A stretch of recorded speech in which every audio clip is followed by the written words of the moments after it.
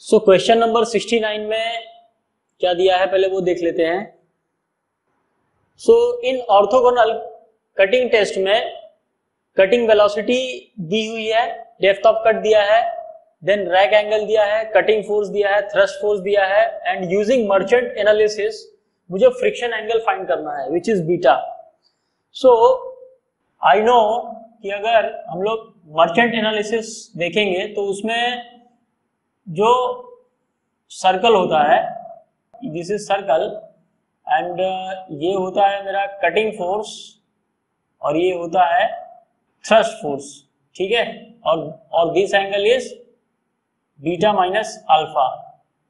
so alpha मुझे पता है एफ़ सी पता है एफ़ टी पता है so I can easily find beta so tan of beta is equal to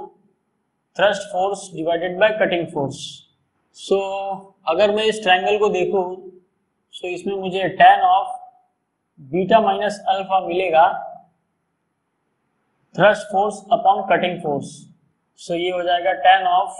beta is unknown alpha is five this is equal to thrust force is 450 and cutting force is 900 so so, इसको अगर मैं solve करूँगा सो so मुझे मिल जाएगा beta is 31.5 degree So this is my friction angle. So B is the correct option.